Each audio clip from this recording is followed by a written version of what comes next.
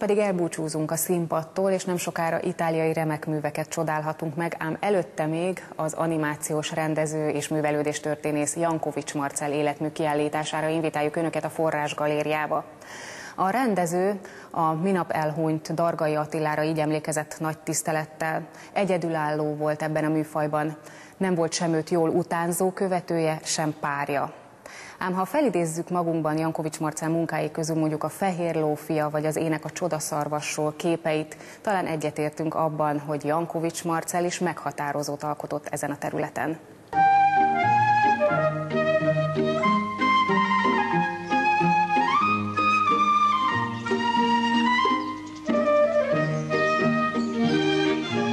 Kossuth és Balázs Béla díjas érdemes művész, grafikus, könyvillusztrátor, művelődéstörténész és rajzfilmrendező munkáiból október 22-én nyílt kiállítás. Nekem tegnap volt a 68. születésnapom, ilyen szempontból én ezt mondjuk ilyen tekintetben tartom apropónak, engem megkeresett a galéria, és én örömmel mondtam igent.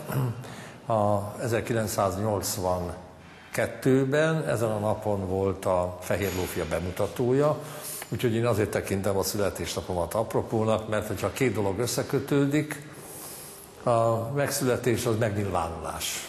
Kicsit belelátnak a látogatók abba, hogy mi van a mögött, a munka mögött, ami rendszerint más formában jelenik meg, mert vagy könyvben, vagy filmen, tehát nem tudják, hogy esetleg van ezek között olyan munka is, ami önálló művészi értékkel bír. Hát nagyon remélem, hogy így gondolják, a piros pontok erről látszanak meggyőzni. Ezek grafikák, többségükben akvarellek, némelyikben ugye tollrajzol is beleavatkozom, meg van olyan, ami ceruzarajz. Van filmrészlet, effektíve filmrészlet, tehát a saját kezem által csinált tusrajzok a Sisyphusból, körülöttem hátam mögött látványtervek láthatóak. 83-ból az ember tragédiájából van kirakva képes forgatókönyv is, az nem azért, hogy árulják, csak hogy lássák, hogy ennek milyen a menetrendje.